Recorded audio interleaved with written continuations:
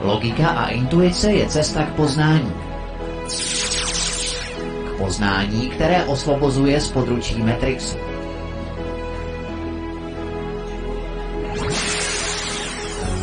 V pořadu s Miroslavem Zelenkou. Miroslavem Zelenkou. Vše je jinak, zřejmě i budoucnost.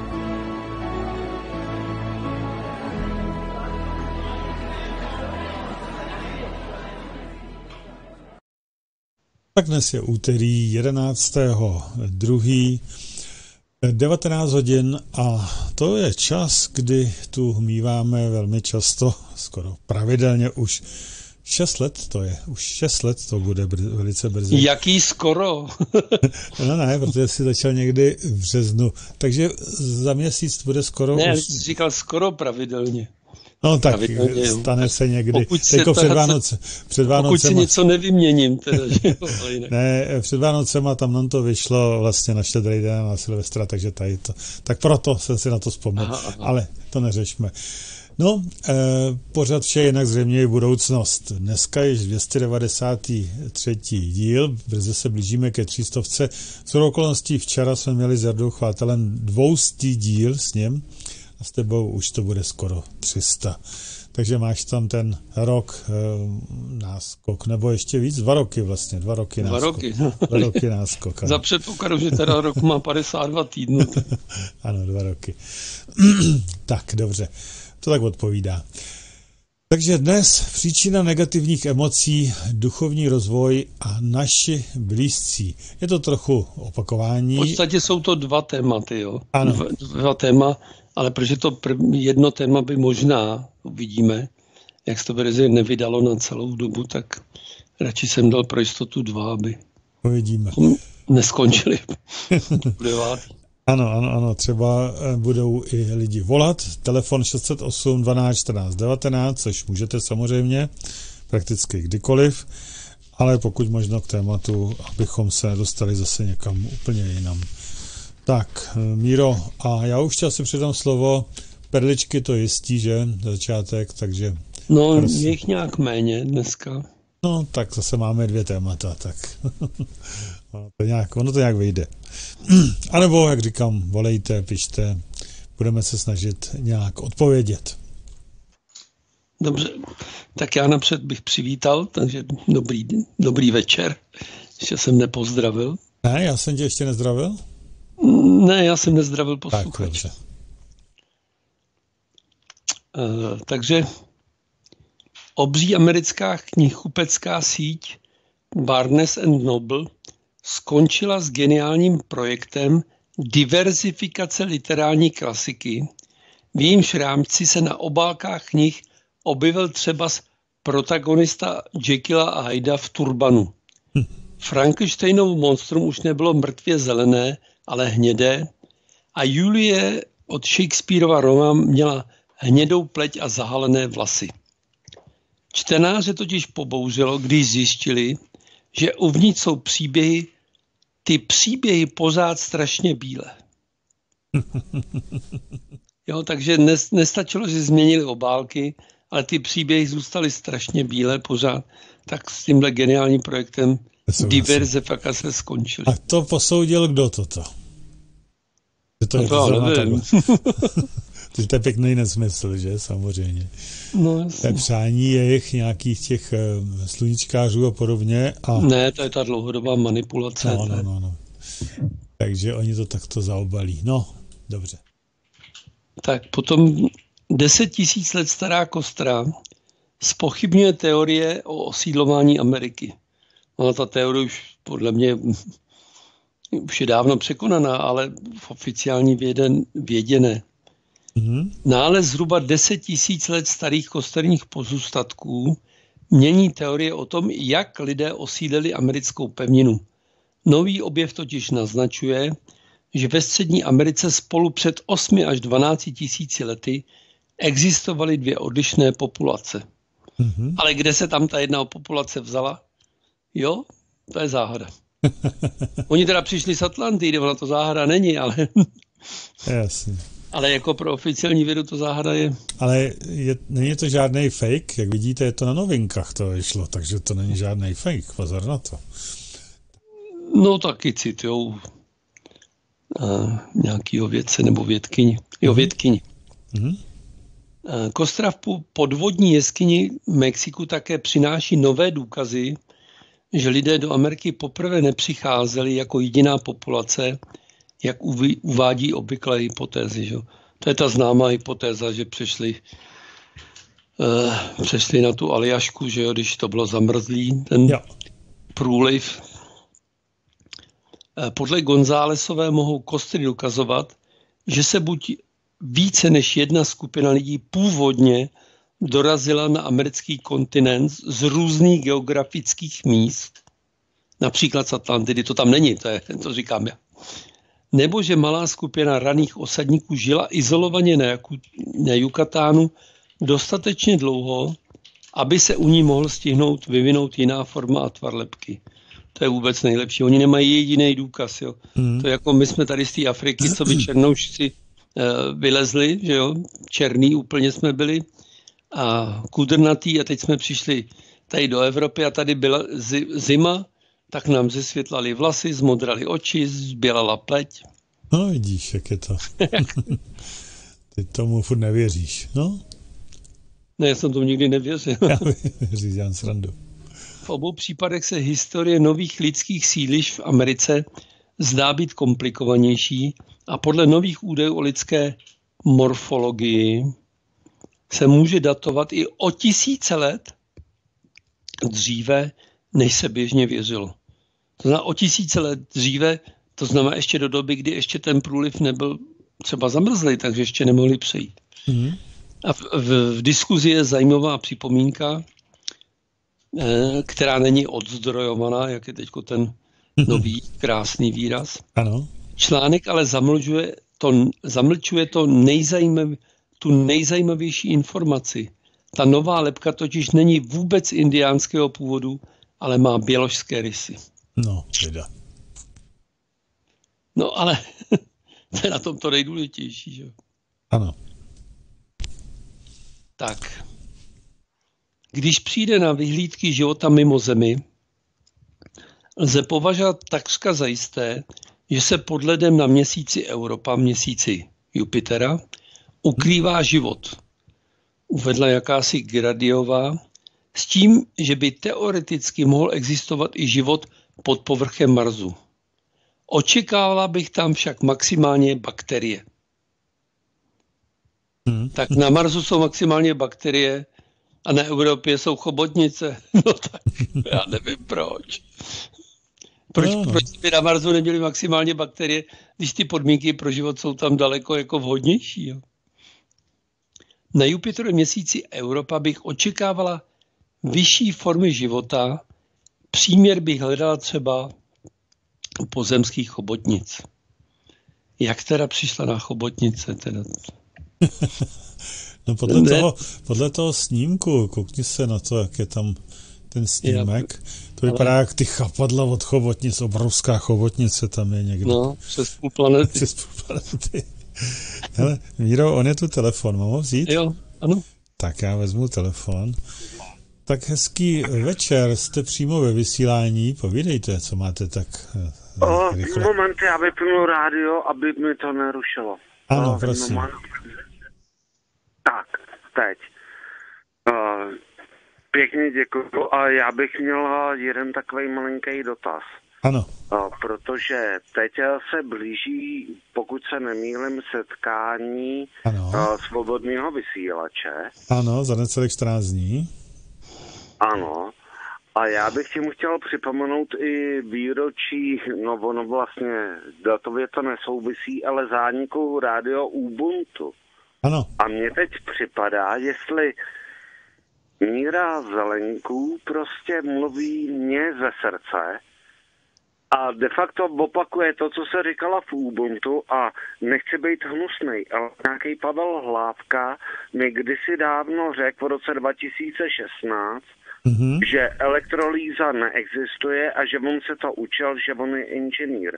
A já jsem se chtěl zeptat akorát na jednu věc, jestli by bylo možné toho 22 kdyby jsme se tam mohli tak nějak všichni sejít A aby jsme nekecali, aby jsme si to ukázali. Tak a teďko už vůbec nerozumím, o co jde. Elektrolýza, že neexistuje? Proč by nemohla Ne, že- existovat? Ne, já jsem splet vlastně spoustu věcí To dohromady. bych řekl, ale já úplně nesmyslně. ale já To jsem by Pavel splet- určitě netvrdil. Tak, Ne, uh, já jsem splet akorát uh, de facto jednoduchou věc chci říct, že vlastně to, čemu jsme doteďka věřili, tak nemusí být zas tak úplně pravda, protože to, že zavírají funkční atomové elektrárny v Německu a u nás, já nevím, jestli to lidi vědí, ale třeba Temelín je nej, nejlépe prověřená atomová elektrárna na týdle země koule. jako Fukushima Jestli- taky byla do, do té doby, než, přišel, než přišlo něco, co ji překonalo. Jo, Fukushima Pozor, taky ta byla nejlepší. nebyla prověřená. Ale Ta byla. nebyla prověřená. Na nás bylo podáno tolik udání, že nikdy nebylo prověřená žádná atomová elektrárna tolikrát, Mhm. kolikrát byl Temelín. A ať se nám někdo zlobí nebo ne, je to zatím nejbezpečnější energie. Dobře, co ale jste- já jsem chtěl, No, co jste já jsem říct? chtěl mluvit o tom, uh, v, uh, jak se to jmenuje, abych to řekl. Uh, já jsem chtěl mluvit o, o rádiu Ubuntu, o tom, co říká Míra Zemeleń. Uh, A co, co, co, o rád, co o rádiu Umuntu byste chtěl vědět? protože Míra de facto uh, mluvil o Gardu, je to tak? O čem? A O čem, že mluvil Míra? Gardo, že duše vstupují do Garda. B. Barda. Do Barda. Barda. Proto- No, a co to má společného No. rádio Ubuntu zase?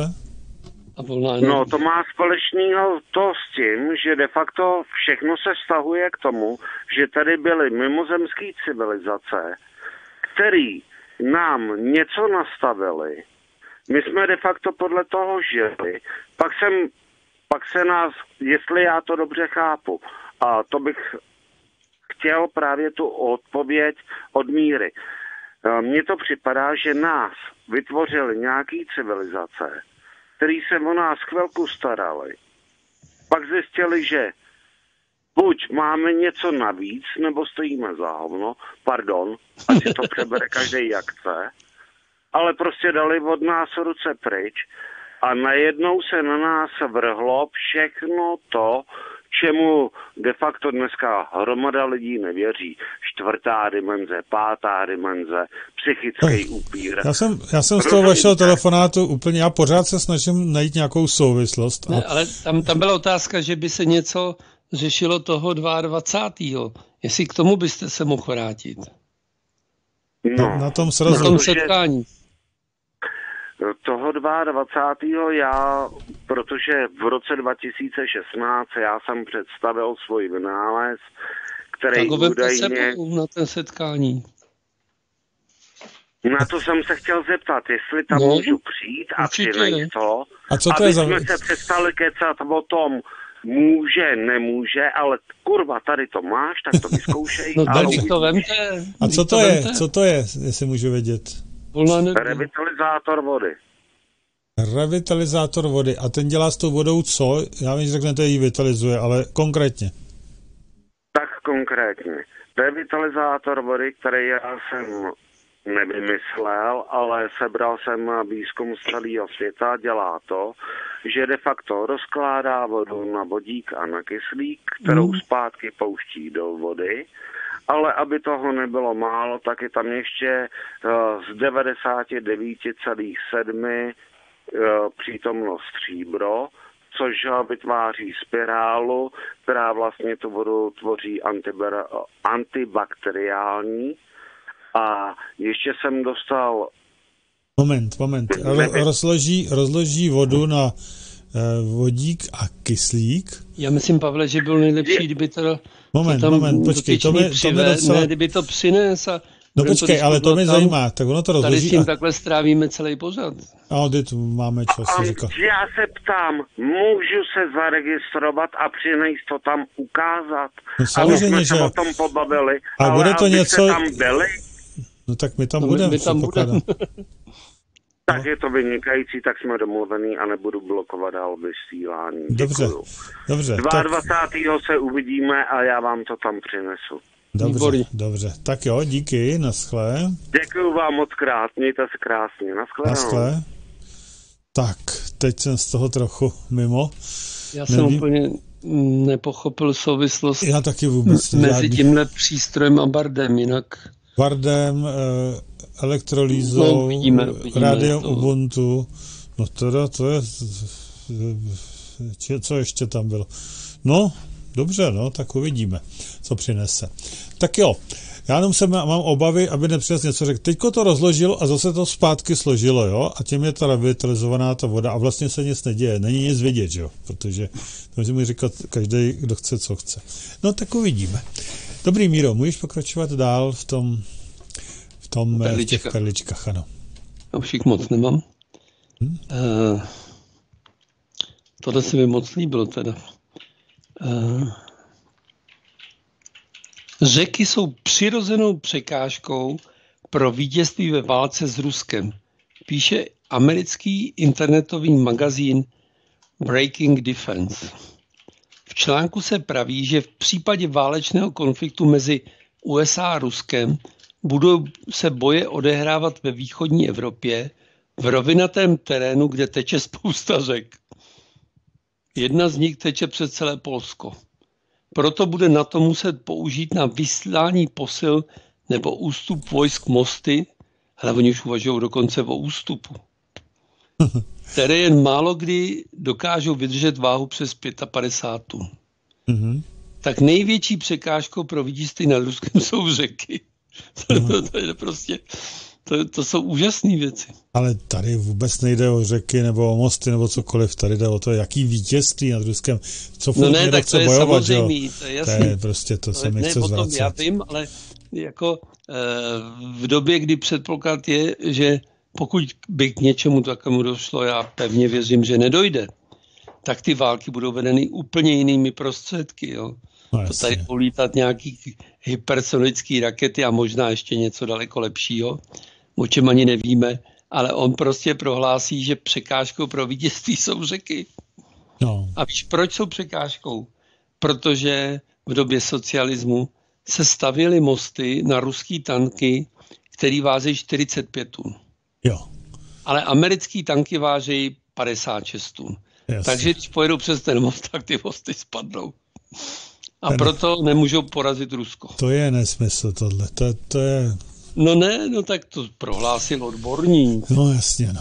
Ty oni dobře ví, že vždycky na tom mostě je napsáno, já nevím, že to má nosnost 8 tun a jediné vozidlo třeba je tam 30 tun, že jo. Jo, takže eh, těch 55, když jste stavěn na 45, tak těch 55 by nebyl absolutně žádný problém. Jo, Ne, to, to, je, to jsou takové kraviny, tohle, to je opravdu, to nemá cenu řešit. ne, přesně. Tak. E, takže teď tady mám ještě Otázku nějakou, která tě přišla? No, no, mám tady otázku, uh, co, co mi přišla mailem, ale ještě taky zajímavý. Dneska například na Facebooku někdo tvrdil, uh, na, na Facebook dal někdo moje meditace na odvedení přisedlíka. a, na Facebook někam do nějaký, na nějaký stránky, Myslím jo? do Prepare for Change, jak je ta, Ano, uh, ty Facebooku. A dostal odpověď, že přisedlíka může odvést, jakože si nemůže nikdo odvést přisedlíka. To je jen velmi dobrý šalmán a to ještě ne každý. Jo. aha, Přitom přisedlíka už si odvedli, eh, co já vím, stovky lidí. Jo. Ale tam někdo napíše, že je jenom velmi dobrý šaman. To se prostě stále opakuje to, že někdo tvrdí, že my běžní lidé nemůžeme sami nic dělat. Jo. Může to být samozřejmě někdo, kdo odvádí přisedlíky za peníze, že jo? tak upozorně to si nemůžete udělat. Ne, to jenom prostě stále dokola. ano, to jsou ty křesťani, jo? ty taky říkají, my nemůžeme nic. No tohle určitě není křesťan, když No, mluví ale o je to takový šamanech. styl, je to styl, že jo, přesně, jejich. Tak eh, potom jsem dostal otázku. Vážený pane Zelenko, nemůžu se nikdy dočíst odpověď na mou otázku. Zajímá mne, co nastane po objevení Atlantis. Asi Atlantidy teda. Asi Atlantidy, ano. Předpověděl někdo, zda bude nalezená, co to bude znamenat? Nevyvolá toto odhalení válku? V tomto století má být poslední papež, ale i poslední duchovní vůdce Tibetu. Má být na stolí nový řád. Má to nějakou souvislost? Tak, to takhle končí otázka. E, co nastane po objevení Atlantidy? Bude objevená. Já, já myslím, že nenastane ano. nic mimořádného, krom eh, předpověděl někdo, zda bude nalezena a co to bude znamenat. Eh, předpověděl to minimálně, to předpověděl teda Edgar Casey, ale nepochybuju, že takových probyl, jako proroků bylo určitě víc. Nechápu, proč by toto odhalení mělo vyvolat válku. Tomu úplně nerozumím. Jo. Hmm. Takže asi v tomhle smyslu Třeba budou, třeba budou eh, potom, jak bych to řekl, boje o to území, nové území, že jo, budou to chtít všichni. Proto to vyvolá válku. Víš, to je docela možné. No. no. Tak. Pak bych teda ještě probral organizační věci, protože... Mm-hmm. To máš Takže... nějak, nějak, nějak ručno, koukám. Ne, ne, telefon tady byl. Aha. Eh, takže 16.2. je seminář v Olomouci, ale ten už je plně obsazen, takže upozorňuji ty, co by měli zájem o seminář v Olomouci, že se odehrává 8.3. seminář na Vsetínsku, eh, potom 29.3. je seminář ve Zlíně a 25.4. v Ostravě. To znamená, ti, kterým se nepodaří se, už se vejí do Olomouce, mají tuto možnost, což jsou okruhy poměrně blízké. Mm-hmm. Kromě toho teda 22. je setkání svobodného vysílače v Praze, kde se přibližně od tří hodin zúčastním. Ano, nebudeš tam dřív, jo? Máš ještě něco předtím? Tenis. Tenis, ano. Já prostě mám halu, no, každou Dobře. sobotu. Dobře přijedu totálně zničený, protože hraju tři hodiny tenis. Ale tak. mluvit můžu, mluvit můžu. Je tu, je tu telefon, můžu ho vzít? Ano, ano. Tak já vezmu telefon ještě. Takže hezký večer, jste ve vysílání. No, dobrý večer, já jsem ztratil zvuk, Vladimír Žák u telefonu, ztratil jsem zvuk, prosím vás, kontrolujte zvuk, jestli to správně vysíláte. A na čem? Chtěl... Na čem? Na uh, televizi nebo na... Na televizi. Na televizi neběží zvuk? Běží, ale je, je velmi slabě, jako neslyšitelně skoro. Ale měl by běžet. Počkejte, já, já, to tady, já to tady zkontroluju. Takhle já se takhle natáhnu, zkontroluju to. Je, jako neslyšitelně skoro. Slyšeli jste, že to normálně jde? Jo, jde zvuk. Normálně. Tak je chyba u mě. Tak ano. se omlouvám. Tak, Děkuji. Dobře, tak jo. Tak dobrý, Míro, tak pokračuj dál v těch organizačních, jestli ještě něco máš? Tak ne, takže 22. bude setkání SVC z Praze, bude, jsem říkal, zopakoval. Bude pozvánka. Bude pozvánka. 8. března bude seminář v Liptálu na Vsetínsku, 15. 3. seminář v Liberci, 22. 3. budou akce příznaku transformace v Praze Kolovratek, které se, uskuteční, které se účastním. 29. března seminář ve Zlíně, 25. čtvrtý seminář v Ostravě, 22. a 24. seminář v slovenském ráji, Dědinkách, který byl loni, a 19. až 21. 6. bude třídenní meditační slunovratová akce v Bojnici. Bojnici ano. ano, je ono to teda kousek od Bojnici, je to takové rekreační středisko. Mm-hmm. Jmenuje se to Hlboká, kdyby to chtěl někdo najít. Mm-hmm, jasně. Jinak teda teď eh, se připravuje ještě seminář pro lidi, kteří jsou, protože tohle je všechno, kromě toho Liberce, situované na, na, vlastně na sever Moravy, tak eh, by měl být seminář v Blatné pravděpodobně někdy v Dubnu a ještě uvažuju. Eh, Blatná by... tady na Plzeňsku, nebo kde? Myslíš? No, to nevím, jestli je Plzeňsko. No tak Plzeň Budějovice. No, tak. no, no, u Nepomouka, u Nepomouka, jako by se říct, ano? Je to ono, ta Blatná? No tak je to v Jižních Čechách, no. Ale hmm. jako nevím, že to je u Plzně. Ty si tu Plzeň nějak hodně rozšiřuješ. Ne, ne, ne, tak Blatná je jedna, jedna za Nepomůkem, no, kousíček směrem na, na Budějovice, na hlavní silnici tady z Plzně. Ne, ne, tohle je Blatná, že jo, na té hlavní trase, že jo, Příbram, Blatná, Strakonice. No tak to, to na jich víc asi. Hm, dobře. Hm. Tak jasně. Ta největší Blatná. no a potom ještě uvažuji o semináři ve Znojmě někdy. Už se to přeběžně projednává. A potom doufejme, že se ještě další semináře. Dobře. A potom ještě znova zopakuji Chorvatsko, první turnus 4.9. až 13.9., druhý turnus 11.9. až 29. kde už se hlásí poměrně dost lidí, takže kdo se chce účastnit, tak se včas přihlásit. Tak, mm-hmm. takže můžeme dát písničku a pak přejdeme k vlastnímu tématu. Dáme písničku a samozřejmě obrázek 3D, tak pište, co tam je.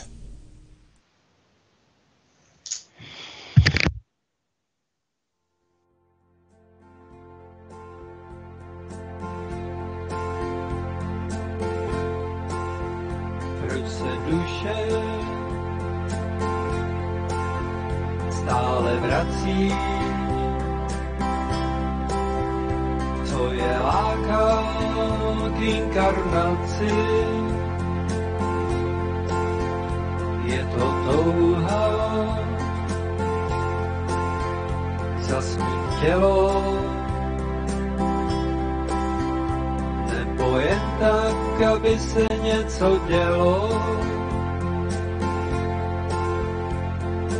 Možná, kdo ví,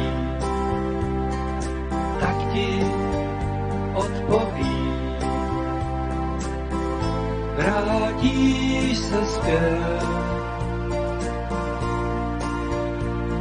až poznáš celý svět.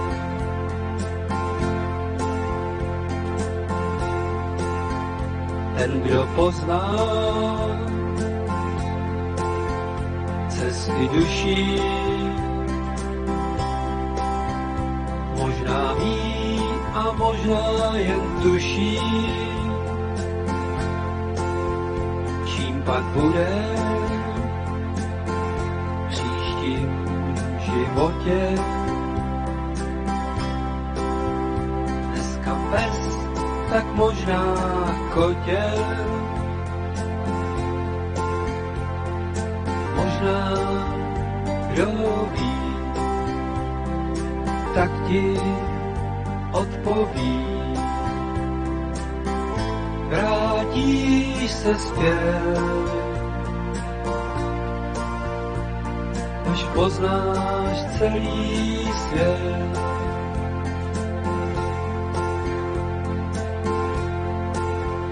Všechny cesty někam vedou, někoho k cíli a někoho zas vedou. Takže musím vrátit se zase, aby pochopil, že žil jak nemá se. Možná, kdo ví, ti odpoví. Vrátíš se zpět, poznáš celý svět.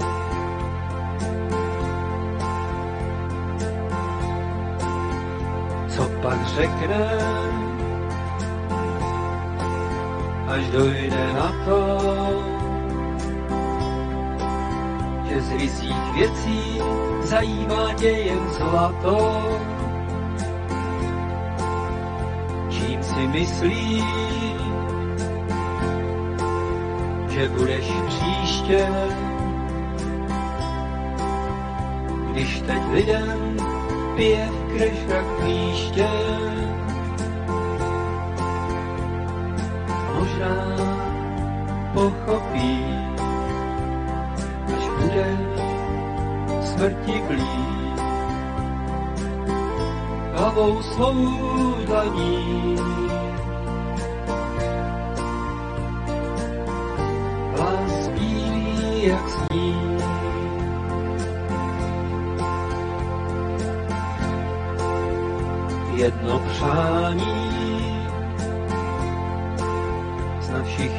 Máme a ta touha nám srdce láme, že jednou dojde k tomu zlomu. A my vrátíme se zas domů.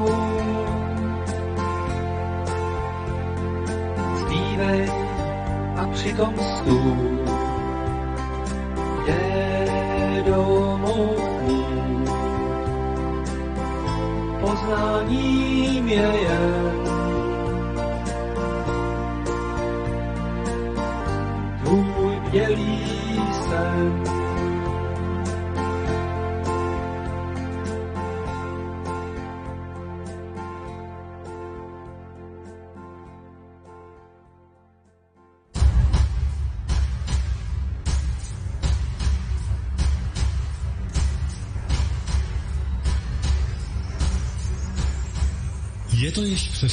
měsíce, co proběhlo poslední setkání příznivců a posluchačů svobodného vysílače, na kterém samozřejmě nechyběli ani zástupci jednotlivých studií svobodného vysílače CS.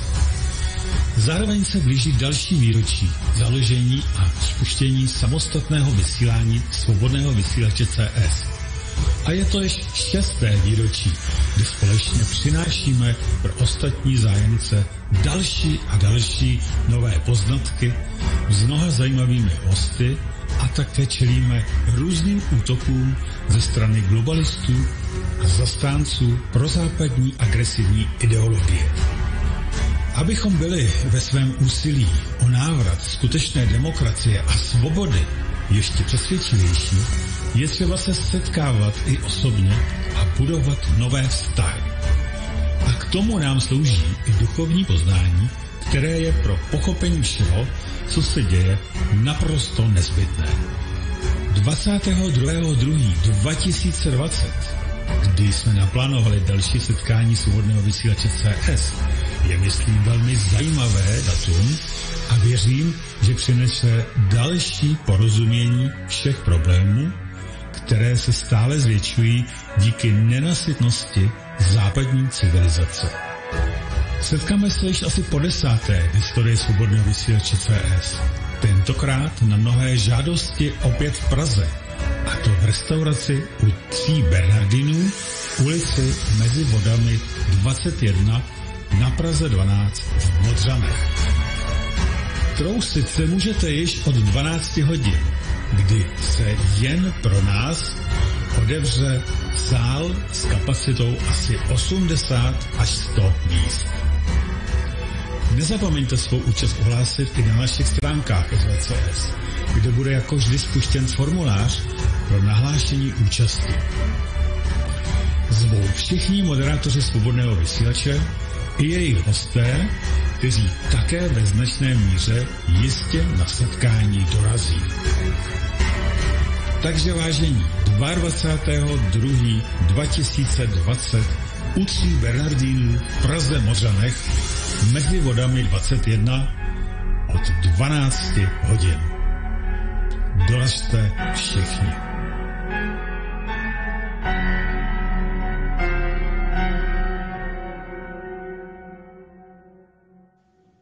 Ano, ano, slyšeli jste to. Pozvánka samozřejmě platí pro všechny, kteří poslouchají a i o ty, kteří se to dozví i jinak.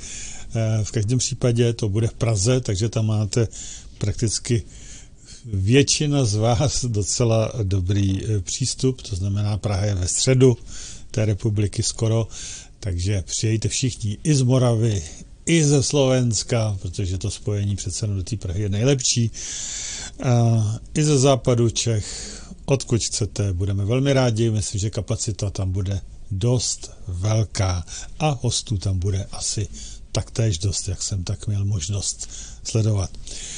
Takže Míro, eh, budeme pokračovat, nebo respektive začínat dnešním tématem, kterým je příčina negativních emocí, duchovní rozvoj a naši blízcí. Můžeš začít, prosím. Ano. Tak eh, já jsem se tomuhle tématu už věnoval, ale babička moudrosti je opakování, ano. že? Ano. ale uh, ono už to taky 6 let, jo, takže...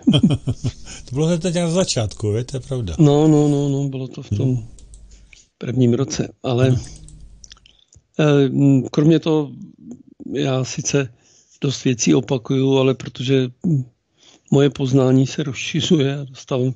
Stále nové a nové informace, tak je to, není, není to nikdy úplně to samé. Ano. Uh, negativní emoce jsou reakcí na vnější, ale i vnitřní podněty. Pokud máme problém nebo něco vnímáme jako problém, tak spočívá to v tom, že skutečnost nebo skutečnosti, tak jak je vnímáme, jsou v rozporu s tím, jak bychom je vnímat chtěli. Skutečnosti jsou v rozporu s naší představou o tom, jak by skutečnost vypadat měla. E, jako když uvedu takový ten zvláštní případ, na kterém bych to chtěl zdůraznit. Když na nás křičí šéf, tak e, ten rozpor spočívá v tom, že my máme představu, že by ten šéf na nás neměl křičet. Že jo? A v tom je ten rozpor. Mm-hmm. A takto vzniklý rozpor či konflikt upoutává naši pozornost a naše vědomí se potom koncentruje na tento konflikt a předmětem tohoto konfliktu může být v podstatě cokoliv. Jen pro úplnost ještě doplňuji celkem samozřejmou věc, že vniklý rozpor nevnímáme negativně v těch případech, kdy skutečnost je lepší, než jaké byly moje představy. Třeba jsem si představil, že hraju ve sportce 120 korun a vyhrál jsem 250. Že? Pak ten, ten rozpor není negativní pro nás. Pokud je tedy skutečnost horší, než naše představy o tom, jak by měla skutečnost vypadat, spouštějí se v nás víceméně spontánně a automaticky negativní emoce, jako například strach, vztek, lítost, zklamání. To, co je velmi důležité si uvědomit, je skutečnost, že se vždy jedná o naše hodnocení situace a negativní emoce jsou naší reakcí na toto negativní hodnocení. Proto na úplně stejnou situaci reagují lidé zcela odlišně. Já vždycky uvádím ten jeden eh, případ. Vztah ke psům. Jo. Mm-hmm. Po druhé straně chodníku jde pes. Milovníci psů se rozeběhnou a jdou si ho pohladit. Tím, kterým jsou poli, e, psi lhostejní, tak si ani v podstatě nevšimnou, že, že tam je nějaký pes.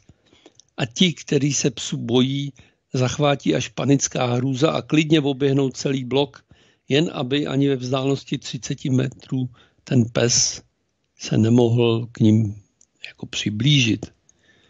I toto je ukázka toho, že je to vždycky subjektivní hodnocení situace.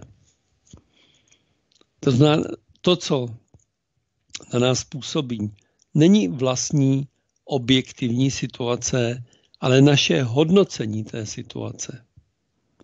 Což nám právě umožňuje, abychom s tím dokázali pracovat. Když si uvědomíme, uvědomíme tu podstatu, že je to naše subjektivní hodnocení. Energetickou podstatu procesu vzniku emoce je rezonance našich vibrací s vibracemi určité skutečnosti. Pokud s vibracemi konkrétní situace nerezonujeme, nevznikají v nás žádné emoce. Navážu na předchozí příklad, tak u člověka, kterému je pes naprosto lhostejný. Má k němu například podobný vztah jako k chodníku, po kterém kráčí, žádné emoce nevznikají. Pochopení procesu vzniku emocí považuji za velmi důležité. Je nepochybné, že negativní emoce kvalitu našeho života zhoršují po všech stránkách, včetně ne zrovna zanedbatelného hlediska zdravotního. Zejména pokud tyto emoce vznikají nebo trvají dlouhodobě. Pokud tedy máme zájem zůstat zdraví, harmoniční a šťastní, je vhodné pracovat na sobě tak, abychom na nejmenší možnou míru omezili spouštěče negativních emocí, které jsou naší součástí. Uznávám a nepochybuji, že opravdu není vůbec jednoduché přijímat v každé konkrétní situaci, kdy jsou v nás nějakými vnějšími okolnostmi probuzeny negativní emoce, že je to pouze kvůli tomu, že naše bytost, či přesněji naše vědomí, obsahuje prvky, které s danou situací rezonují. Uvedu jako příklad situaci, která byla a bohužel stále ještě občas je mým modelovým výukovým procesem. Když jsem sledoval v televizi politika, jméno si může dosadit každý dle svých preferencí negativních mm-hmm. a myslím, že to nebude téměř pro nikoho velký problém, eh, který politika, který s arogancí sobě vlastní říkal zejména pravdy nebo zkresloval skutečnost, tak se mi nedařilo zabránit vzniku negativních emocí. Většinou se jednalo o vztek, který nepřecházel v agresivní čin. Taky ten politik nebyl na dosah, že jo? Což myslím jako nadsázku. Po uklidnění, které přicházelo naštěstí poměrně záji, jsem vždy začal pátrat po tom, s kterou částí mého vědomí politikovo chování rezonuje. To, že používám minulého času, je dáno víceméně tím, že už se nedívám na televizi a mhm. případně, když se dívám na televizi, už to se mnou takto nerezonuje. Ano. Okamžiku, kdy jsem se dopátral, s kterou částí mé bytosti to rezonuje, začal jsem pracovat na změně této části mé bytosti. Základem je hledat příčinu vzniku negativních emocí, spouštěč negativních emocí v sobě. Dokud toto nepochopíme a budeme stále očekávat, že vnikem našich negativních emocí jsou příčiny, okolnosti a situace, které jsou vně nás, nemáme šanci naše negativní emoce omezovat. Dlouhá staletí a tisíciletí eh, byly naše reakce na stres naší důležitou součástí v boji o přežití. Mm-hmm. Tři základní reakce znehybnění, úček či útok byly významnou součástí našich schopností, včetně neméně podstatné schopnosti, kterou se člověk vzhledem k své inteligenci odlišoval nebo vyvyšoval nad ostatními přírodní bytostmi, bylo zvolit tu správnou reakci na konkrétní situaci. Je to prostě v některých případech je Mluví se o tom i ve styku s některými zvířaty, že optimální je znehybnět, některým je optimální utéct, některým je optimální udeřit. Mm-hmm. Což se týká teda i lidí, že jo? lidských tak. bytostí. Schopnost vybrat správnou variantu reakce na stres ve velké většině případů intuicí, protože na logické rozbory a rozumové úvahy nebyl čas, byla často důležitější než rychlost útěku či síla útoku. Často nebyl čas na nic jiného než na reflexní jednání a tomu odpovídaly emoce toto jednání provázející. Také časem se při reakci na určité, eh, na určité jevy nebo události eh, dostalo do našeho morfognického pole to, že eh, víme, kdy je lepší utéct, znehybnět nebo udeřit. Mm-hmm. V současné době v nás stresové situace probouzejí stejné reflexní emoce, které v okamžiku jejich spuštění neovládáme svojí vůli. Už jenom proto, že jsou uloženy v tom morfogenickém poli lidstva, lidských bytostí nebo určité rasy, národa. Základní rozdíl proti dřívějším dobám je ten, že i než ve velmi malém procentu nebo spíš promile případů se jedná o vlastní fyzické ohrožení našeho života či zdraví. Dlouhotrvající stresy naše zdraví ohrožují, na čem se podělí právě negativní emoce, které je provázejí. Jen velmi málo lidí má v dnešním takzvaně civilizovaném světě byť i jen teoretickou možnost z našeho pohledu negativní situace ze svého života vyloučit. Mm-hmm. Proto nám nezbývá jiná možnost, pokud chceme zabránit spouštění našich negativních emocí se všemi jejich negativními důsledky. To je to vyplavení toho adrenalinu, které, když jsme dřív bojovali nebo utíkali, tak sloužil k tomu, aby jsme bojovali účinnějíc nebo rychleji utíkali, ale teďko neutíkáme ani nebojujeme a ten adrenalin zaplavuje ten organismus a nevyplavuje se tím útikem nebo bojem. Mm-hmm. Takže ty negativní důsledky a, a musím zdůraznit, že tyto negativní důsledky se projevují nejen na nás, ale i na našem okolí. Takže než abychom zpracovali negativní prvky naší osobnosti, rezonující s negativními prvky situací a jevů stres, stres v nás probouzejících. Abych nebyl jako nesprávně pochopen, považuji za nutné zdůraznit, že podstatou tohoto eh, pořadu textu je práce na preventivním předcházení spouštění negativních emocí, ne na jejich potlačení. Protože to potlačení má vždycky negativní vliv na naše psychické a fyzické zdraví. Rovněž tak není v žádném případě záměrem ovlivňování k pasivitě, což znamená, že bychom měli reagovat přiměřeně na dle našeho názoru negativní situaci, ale, a to opakovaně zdůrazní, bez negativních emocí. Ani se nejedná o oblíbené přijímání negativních situací s tím, že vše je tak, jak má být.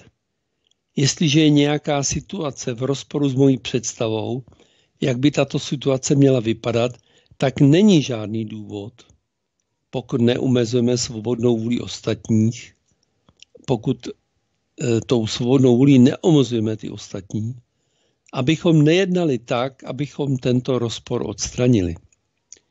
Ale měli bychom tak činit bez negativních emocí, které nejenže mají negativní vliv na zdraví a pohodu naši a našeho okolí, ale dokonce i pravděpodobně zhoršují naději na úspěch našeho jednání pod jejich vlivem. Protože pokud mám vyřešit nějakou situaci, která se nám jeví jako negativní, tak když podlehnu negativním emocím, tak je menší pravděpodobnost, že je úspěšně vyřeším, když jim nepodlehnu. Mm-hmm. Protože se obávám, že se najdou lidé, kteří budou uvedené myšlenky těžko vstřebávat, a já tomu rozumím, protože jsem taky normální člověk a také se mi ty věci běžně dějou, cítím povinnost uvést některé příklady a pokusím se předložit takové ty nejzřetelnější. Eh, v současné době část společnosti, míněno část společnosti, která se takovými myšlenkami vůbec zabývá, asi nejvíce popouzejí dvě věci, dvě věci. A to arrogantní zneužívání moci a nezákonné či minimálně neetické obohacování se na úkor ostatních. Obávám se ale, že nemálo těch, ve kterých takové chování druhých spouští, neg- spouští negativní emoce, by se v obdobné situaci chovalo velmi podobně. A těch příkladů je mnoho, zejména v té oblasti politiky. Takový ty bojovníci proti tomu e, neetickému, nezákonnému jednání, jak čuchli k, tom, k té moci a k těm penězům, tak se začali chovat úplně stejně. Hmm, to je a těch pravda. příkladů je opravdu Ano, ano. mnoho. Ono kolikrát Dokonce ani eh, nemají jinou možnost, jo, protože si jakmile se někdo dostane do toho prostředí, do toho systému, tak Mají možnost o tam toť vypadnout vždycky. jediná možnost je tam musí vypadnout. No, ale to, jak říkáš zase ty, jakmile si čuchnou k těm výhodám, hm, tak už se nikomu tam odsud nechce. No jo, no, dobrý. No ale tak eh, přesto myslím, že jsou tací, co se nenechají zlomit tím nebo získat. Hm. Ale bohužel jako mm, ta pravděpodobnost toho vývoje spočívá v tom, že jsou buď to vyštípáni, Ano. anebo se chytí. No. Vyštípání, Vy, vyštípáni nebo, nebo, nebo, to, nebo to nevydrží. Prostě. nebo znemožněny, nebo nějak No, no, no. ostarkizovány, nebo cokoliv, No, jo. a nebo na to nemají žaludek a odejdou sami. No, no, no, ale to většinou, to většinou ani tak moc ne. To, jako kdyby odešli sami, tak tady hrozí nebezpečí, že by o tom začali mluvit, že, jo? že by začali říkat, jaký to tam je. A to systém nemůže dopustit. No, tak eh, raději prostě, A tak nebo ono, spíše tak nějak znemožní nějaké diskredituje. takových lidí, kteří byli, on je problém, když teda jsme v těchto detailech, tak eh, prostě tyhle lidi jsou vždycky oťukáváni, takže nejsou puštěni k těm důležitým informacím.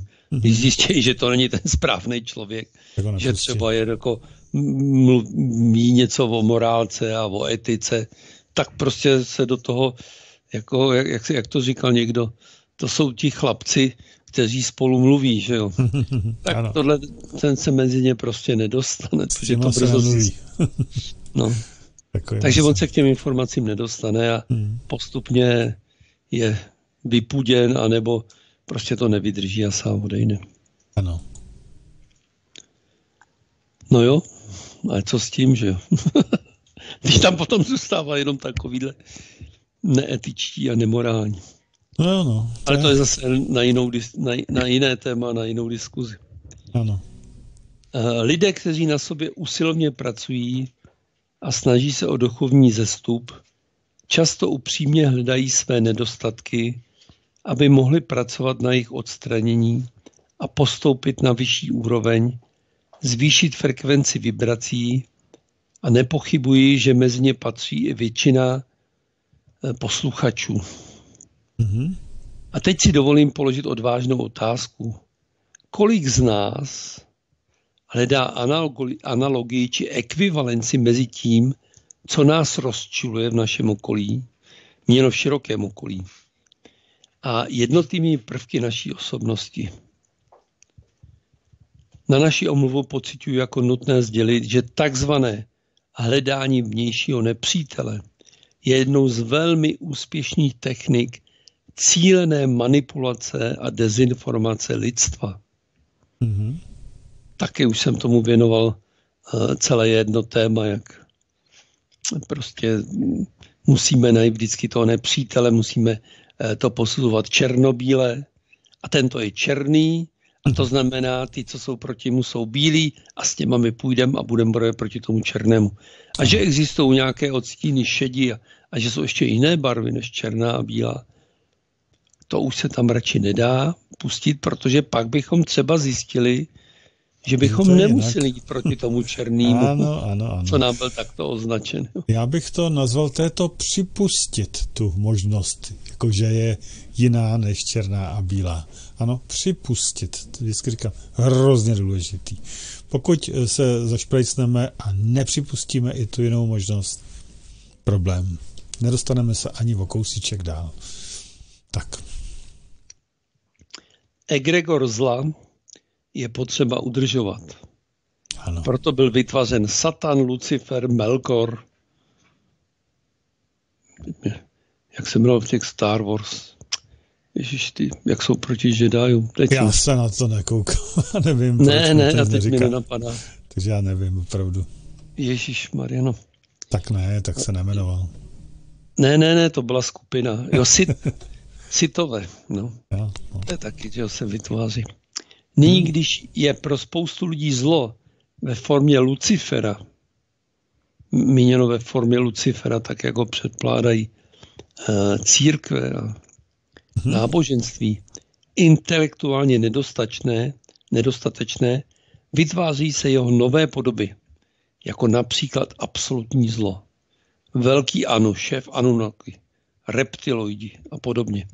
E, Tím samozřejmě nechci říct, že takové bytosti neexistují, nebo že neexistují bytosti, jejich zájmy jsou v rozporu se zájmy lidstva. Aby lidé nemuseli připustit, že zlo je jejich součástí, umístili je mimo sebe a jsou v tom dlouhodobě podporováni.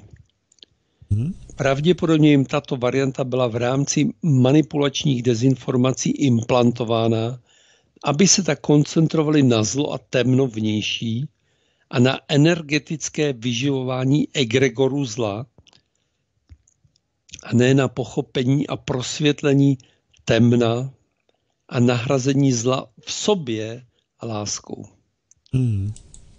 Boj s vnějším zlem, to je, myslím, že uh, ty, ty hrátky s čertem, jak tam hrál toho poustevníka, jo, ten, tam to byla prostě klasická ukázka to. Jak všichni okolo byli zlí, Ano, ano. ale on sobě neměl žádnou lásku, že zablokovaná srdeční čakra. Přesně tak. Otec Šolastikus, nebo jak se jmenoval? Otec scholastikus, no, tak, no. Ano, jak říkal, že nebude ve stejném nebi s Tantym, no a No. to bylo to velký, co se tam rozčílil ten anděl. Hodně. Je, je, je fakt, že tahleta, tahleta pohádka má mno, jako je skutečně velice dobře napsaná. Tam má. Mhm, mhm. To je pravda, no. Jako je vyloženě nadčasová, tam prostě člověk stále objevuje Mhm. jako úžasné pravdy, jak ten svět funguje. Že? Boj s vnějším zlem, za které je označováno vždy dle momentálních potřeb a okolností cokoliv, nebo kdokoliv teda, nebo kterýkoliv národ, stát a podobně, se tak stal permanentní součástí lidských dějin. Boj, který se nedá nikdy vyhrát. Už jen proto, že dokud lidé nemají zpracované zlo v sobě, je možné je zmanipulovat tak, aby za zlo považovali to, co je v daném okamžiku vhodné pro manipulátory. Ano. Nyní To například teroristé, zlí mimozemšťané, Číňani, Rusko, prostě co si Putin, to, co si vyberem, tak se stane zlem a sam absolutním zlem, že jo? A proti tomu se musí bojovat. Hmm. A všichni ještě, ty, co proti němu bojují, jsou ty hodní. Což je ten úplně největší manipulace. že jo? Když, no ne, tak když proti sobě bojují dva šediví, že jo, a my si jednoho vybereme, označíme ho za bílýho, tím pádem ten druhý je černý a proti tomu se musí bojovat. Ano. Strach je hybnou silou manipulace lidmi, a to dokonce jak strach těch druhých, tak i strach vlastní. Jedná se do určité míry o bludný kruh, protože máme někdy jen skrytou neuvědomělou touhu manipulovat a běžně posuzujeme ostatní podle sebe, předpokládáme, že ostatní mají rovněž touhu námi manipulovat. Protože máme strach z toho, že bychom byli manipulováni, snažíme se, abychom byli my těmi, kteří manipulují, protože předpokládáme, že když manipulujeme, nemůžeme být manipulováni. Ano, ano. Tudíž činíme jiným to, co nechceme, aby bylo činěno nám.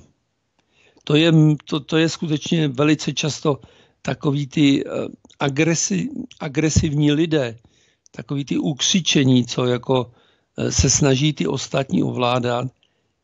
V mnoha případech je to skutečně dáno jejich vnitřním strachem. Hmm. Oni svoji vlastní agresí eh, zakrývají vlastní slabost, vlastní strach z těch ostatních. A proto jsou agresoři. Jo. Prostě říkají si, udeřím první, abych nebyl byt. Hmm. Ale vůbec neuvažuji, že by je třeba nikdo nechtěl udeřit. Jo. Hmm. Abychom se tomu to vyhnuli, je nutná neustálá koncentrace mysli na všechny naše činy a myšlenky s plným uvědomováním si příčin vlastních strachů v hloubi duše. Tato situace je názorným příkladem negativních emocí, které v nás probouzejí různí manipulátoři. Jejich manipulace rezonují s naší vnitřní touhou či ochotou manipulovat druhými.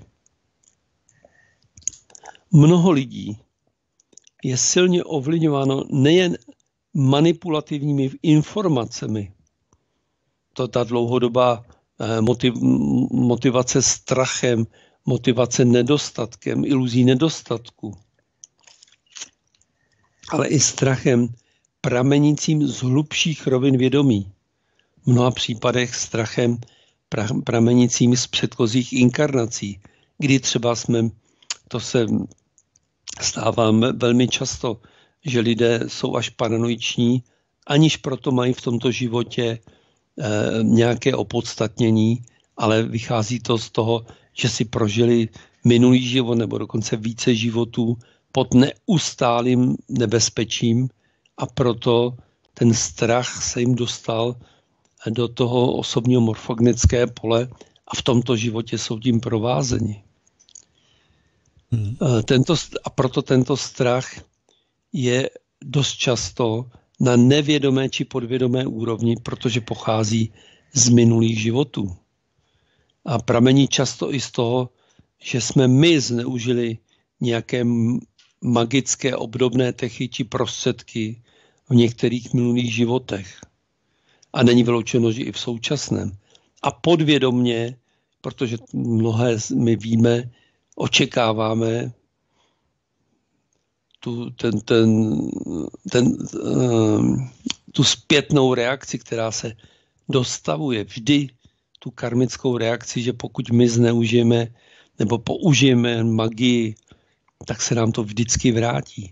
Hmm. A pokud jsme to používali v minulých životech, tak to v tom podvědomí máme, že se nám něco bude vracet takového a má, máme ten, ten strach až fobii. Hmm. S tím souvisí karmické zatížení a následně i utrpení, vznik těch negativních emocí. Pokud vůči nám někdo uplatňuje například magické techniky. Hmm. Tak mi napadá, Míro, jestli můžu do toho vstoupit. No, ano. Je možné tu magii nějakou, eh, jak si zneužít neúmyslně? No to se stává. A to se kdy stává, se to může stát? Právě. No, Jestliže to není úmysl, se, jak se to může stát? Eh, stává se to tak, že my jsme uh, používali v minulých životech nějaké uh, magické rituály nebo obřady nebo techniky a ty nám v tom osobním morfogenském poli zůstaly mm-hmm. a my je použijeme, aniž víme, že se jedná o magickou, nějaký magický rituál nebo magickou techniku. S tím jsem se setkal ne tak výjimečně. A je to potom, jak si, jak bych to řekl, jakoby zatěžující karmu?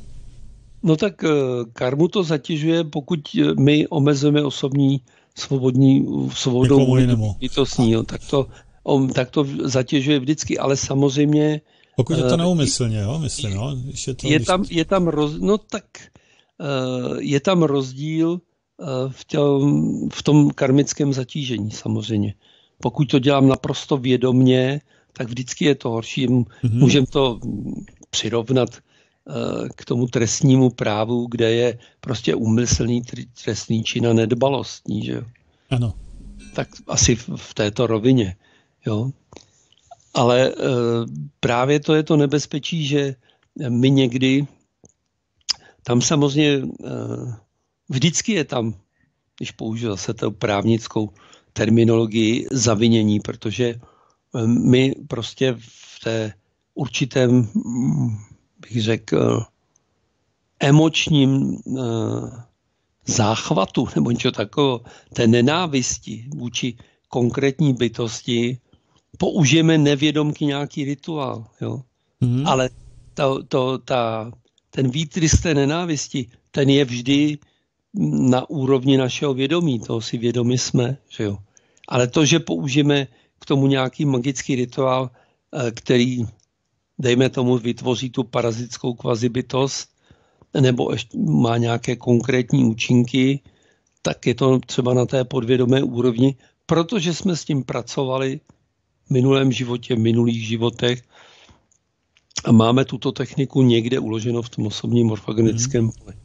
A jak tomu teda předejít, takové to, pokud je to neumyslně, čili nevím o tom vlastně a použiju to, je možné tomu nějak předejít, jak se tomu bránit? To z, zejména je možné, uh, tak samozřejmě uh, jsou techniky, jak se dostat do svých minulých životů a uvědomit si, že jsme používali černou magii a těch lidí, kteří si toho vědomi jsou, jo, není tak málo. Jo. A v případě, Já, když mám ten seminář, tak tam se vždycky několik čarodejnic přizná, že, že vidí, že byly čarodejnice. Jo.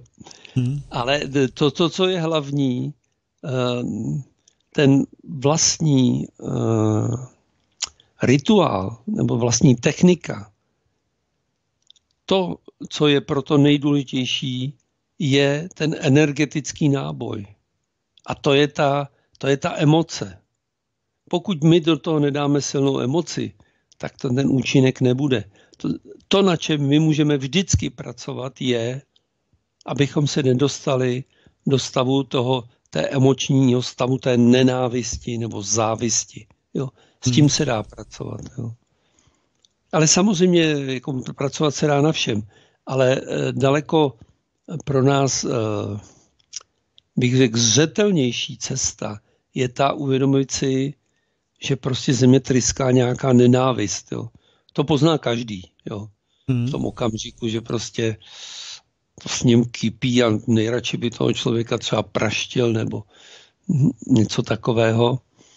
Ale to, že použije, pou, vyskne nějakou formuli, jo, to už je, se může přenášet na té podvědomé úrovni.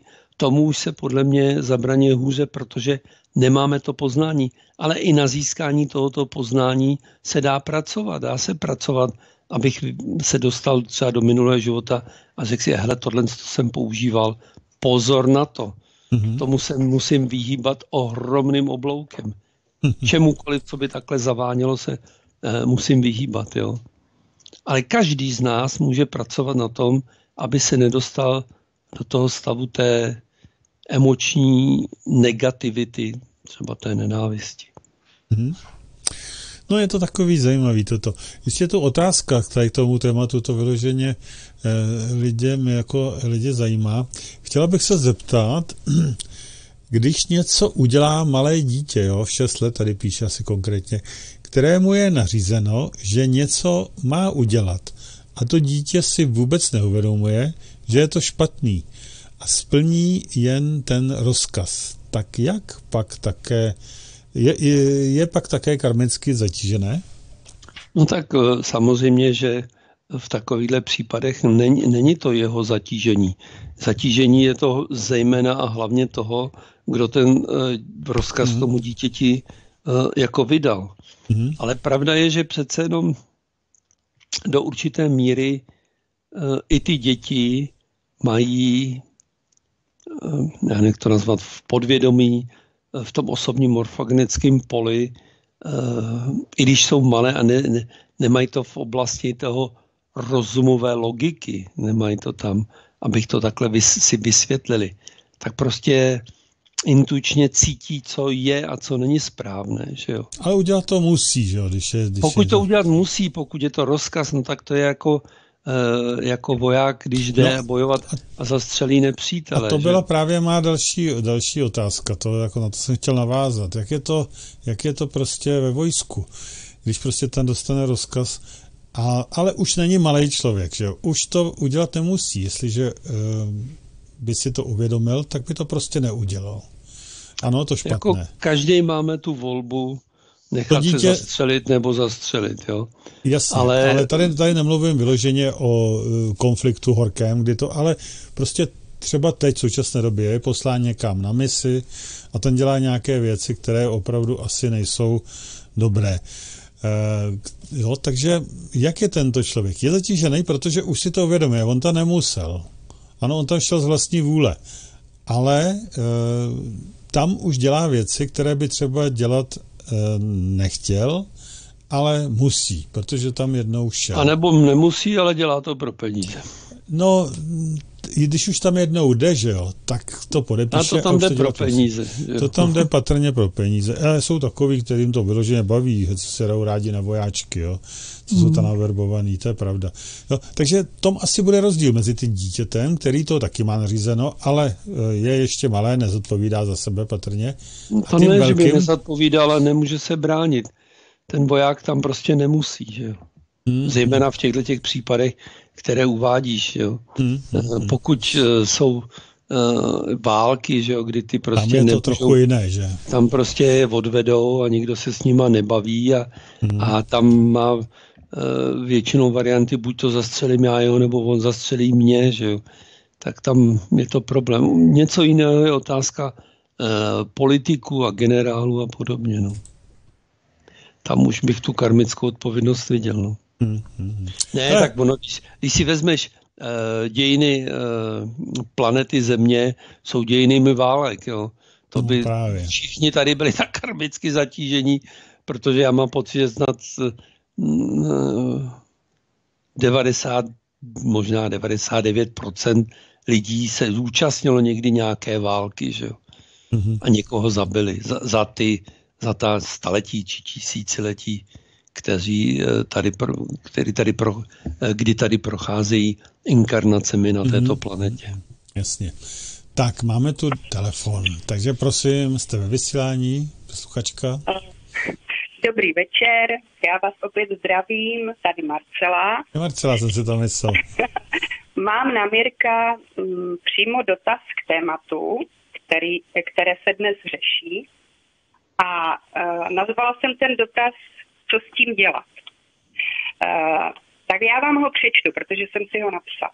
Poraď mě. Jak reagovat na kolegyni v mateřské škole, která ze sebe vydává negativní emoce a, ne- a musí pravděpodobně negativně působit i na děti. Mm-hmm. Je to, já to cítím podle sebe, vnímám to asi jenom já, a v praxi se to projevuje, nebojím se říct, šikanou dětí. Mm-hmm. Ně- některých, asi pěti dětí celkem z 25, strachem dětí. Tři až čtyřleté děti se prostě bojí a reagují pta- pláčem. A třeba i pětiminutým, pětiminutovým tichem, které si ta paní učitelka prostě vynutí, že ty děti jsou absolutně potichu. Zeptám se dál, nebo hm, chtěla bych pokračovat. Tato skoro 58-letá žena dle mého názoru arrogantně zneužívá svou moc, aby dosáhla absolutní disciplíny. Podotýkám, Mirku, že to je můj subjektivní pohled, založený na pětiměsíčním pozorování své kolegyně, se kterou se teda vidím, se kterou se vidím pouze dva dny v týdnu. Je to vlastně založeno na mém vnímání situace, na vcítění se do dětí, na faktu, že když přijdu do práce, děti se na mě pověsí a každý vykládá, každý povídá, se předbíhá, kdo mi co poví. Ale samozřejmě u mě i trošku neposlouchají, mají oddech, můžou vypnout, můžou vypnout svoji poslušnost. Jsou totiž sami sebou a nebojí se. jak toto řeší. Ještě poslední, poslední, poslední poznámka. Myslím si, že kdyby tato, kdyby tato kolegyně podstoupila nějaký psychotest, že by se v jejím chování našla možná patologie nebo změna os- nebo porucha osobnosti. Myslíš si, Mirku, že to může způsobovat i přisedlík? No Tato samozřejmě. kolegyně se totiž nepodívá člověku ani do očí. Hmm. Takže děkuju. Děkuju moc za reakci. Díky Marcelo, těším se na setkání. Vidím, že se přihlásila. Tak fajn. Tak eh, Děkuji, děkuji. samoz, Hm? Samozřejmě tohle je jako skutečně velký problém školství, že se prostě eh, nedělají nějaké psychotesty eh, toho typu, zda ten člověk je vůbec vhodný eh, pro tuto funkci, protože do určité míry, já to řeknu trošku jako ostře, ale chodí tam i lidé, kteří jsou poškození psychicky a tam prostě dělají, oni mají potřebu ovládat nějaké bytosti. Že? Hmm.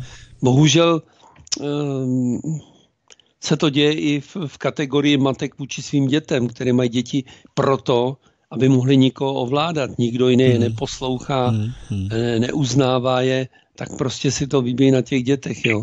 Takže to je, to je prostě obecný problém, já si netroufám říct, eh, per, percentuálně vůbec bych si to netroufl odhadnout, ale rozhodně to není zdaleka zanedbatelný jev. Jo. A mm, taky jsem někdy chodil do školy a moje děti chodily do školy, takže vím, že tam prostě takové typy lidí, bytostí jsou. Co se s tím dá dělat, je velice problematické. Jo. To prostě, to by muselo to vedení té školy nebo školky, ale teď je otázka, jestli mají za, dotyčnou náhradu, nebo jestli jsou schopni to samozřejmě vůbec vnímat, to takhle chápat. Jo. Takže je, jedinou radu, kterou můžu dát, je eh, posílat dotečné energie ze srdeční čakry. Jo. Protože vysvětlit, eh, silně pochybuju, že by mělo význam, ale zase nechci paušalizovat, nechci to zobecňovat, jo. ale obávám se, že je velmi malá pravděpodobnost toho této paní říct, eh, že to není úplně ideální a že by se mohla k těm dětem chovat úplně jinak a že třeba by si i tu eh, přirozenou autoritu mohla dosáhnout třeba úplně jinak. Jo. Takže si myslím, že eh, nevím o této dotyčné nic, ale ona je přesvědčena, že dělá to nejlepší, co může. Jo. A ona vůbec netuší, že, že ona z, z nich doluje tu energii, že jo, tím, jak je, jako, jak je deptáno, tak z ní získá energie, kterou ona si neumí získávat přirozeným způsobem. To znamená tu, tu pránu třeba do té třetí čakry, taky prostě ona si ji přijde načerpat z dětí. To je tragédie, ale bohužel na to musíme změnit systém. No. Ano, přesně. Já se To je- obávám, že a, a, ani mm, osvícených ředitelů školek, kteří by byli schopni tohle vnímat, mnoho není. Jo. Hmm. Já vím, že ještě když kluci, děti chodili do školy moje a eh, něco, jako ne, oni si nestěžovali, to, oni to brali jako v pohodě relativně, ale když jim češtinářka říkala, já vás nemám ráda, že jo. No když jsem pak paní češtinářku jednou potkal na ulici, tak jsem leco pochopil teda, jo. Takže to je těžký, no. Změnit systém, no. Je v konkrétním jediném případě je podle mě asi ta nejlepší možnost je neustále jí posílat lásku ze srdeční čakry a samozřejmě těm dětem případně. Hmm. Což není jednoduchý, když člověk ještě u toho musí pracovat. Tady je právě ten problém, že konkrétně ty školky, školy a podobně, tak eh, tam nemáš volbu, jestli tam ty děti můžeš poslat nebo ne. Prostě musíš. Ano, a Můžeš si vybrat školku, no. No, ale to nepomůže, že? Ně, někdy většina. taky nemůžeš. No, no, no. A školu už vůbec ne potom. No, takže musíš a, a tím to, To platí skončilo. úplně to tež, Hmm. platí na všechny pedagogické Ano, pracovníky. že? ano, ano. ano, tak Musí dobrý. změnit systém, aby uh, učitele na jakékoliv úrovni byli lidé s otevřenou srdeční čakrou, byli vybráni podle toho, že mají talent zpracovat s dětmi a ne podle jakýchkoliv jiných systémů, ale samozřejmě taky byli adekvátně za to odměni. Hmm, hmm, hmm. Já, já jsem takový bezbřehý optimista, že věřím, že se to ještě dožiju. Tak, Marcela tam ještě pořád je, je to tak? No, no, ano, to... ano. Tak dobrý, spokojená, tak to nebo... Hm? Ano, ano. Zdravím vás, pánové, mějte se hezky na setkání. Ahoj. Nashledanou, nashledanou. Ahoj, nashledanou, ahoj. Tak, super, to byla Marcela ze Znojma. No a my můžeme pokračovat dál, pokud teda nedáme písničku. Já tady ukončím jeden odstaveček hmm. jo, a pak dáme písničku. Dobře. Další druh strachu je obava z poznání, které by mohlo ohrozit dosavadní představy hmm. některých lidí o světě a o sobě, ohrozit jejich paradigma. Jedním z možných důsledků této změny toho osobního paradigmatu je to, že bychom museli přijmout plnou odpovědnost sami za sebe. Neměli bychom se na co vymlouvat, protože když dojdeme k závěru, že to, co se nám děje, je, protože my jsme se nechovali nejlépe. No a to není tak úplně příjemné zjištění, takže lidi radši se brání poznání, aby měli pro sebe nějakou výmluvu. Tak, tak. Tak, a teď bychom mohli dát tu písničku. Teď bychom dali jednu písničku, dáme Láska je chrám a opět jeden obrázek, takže koukejte pořádně, připravte si oči, vente si brejle, vy starší případně a mrkněte na Oni to. Oni mladší mají brýle. No, jasně. No. tak jo, jedeme. My mladí máme taky brýle. Taky. tak fajn.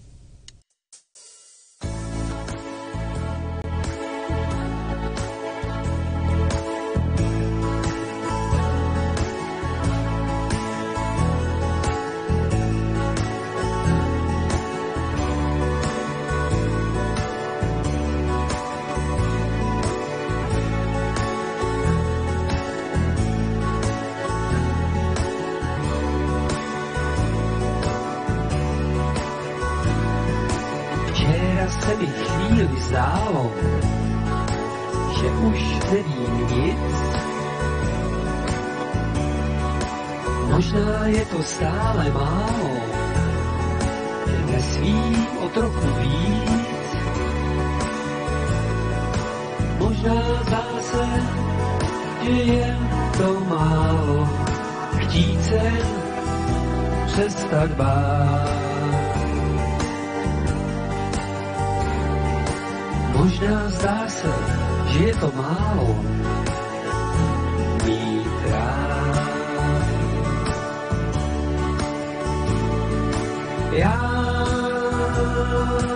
ptám, na můžeme víc mít.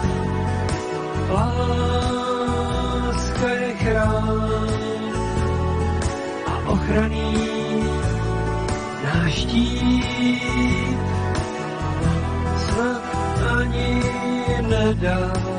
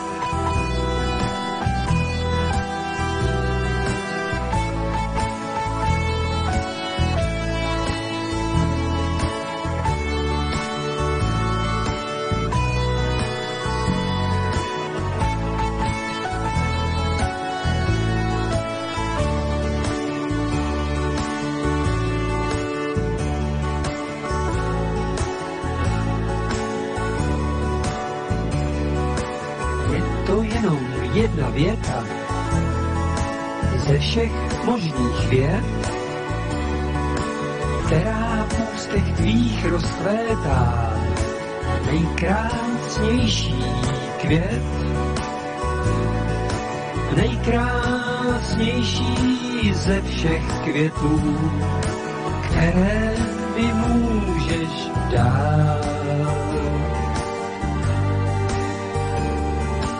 Nejkrásnější ze všech světů,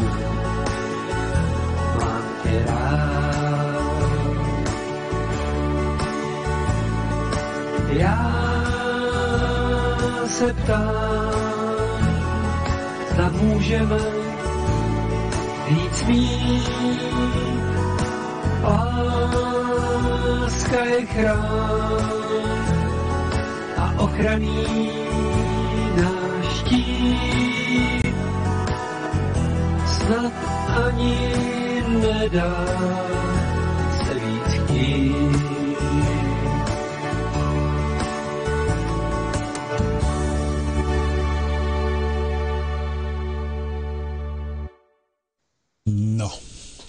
tu opět eh, ve vysílání. Já jsem jako tady dostal eh, jeden obrázek taky stereo. Teď jsem se na něj, teď jsem ho tady zjistil.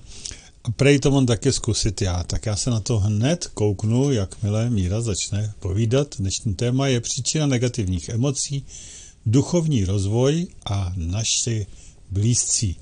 Míro, můžeš pokračovat? Tak já teď se dostávám do té druhé části, to znamená duchovní rozvoj i naši blízcí. Mm-hmm. Setkávám se s lidmi a poprvé řečeno jsou to hlavně ženy. Eh, nejedná se o výjimečné případy, které projeví obavy, že při svém rychlém vývoji utečou natolik svým blízkým, které mají opravdu rády, že je nějakým způsobem ztratí. Je to zajímavý fenomén, a je poměrně typický pro určitou fázi vývoje. Důvodem, proč se vyskytuje zejména u žen, je jejich větší smysl pro rodinu a pocit větší odpovědnosti a rovněž skutečnost, že práci na svém duchovním vývoji se věnuje podstatně více žen než mužů.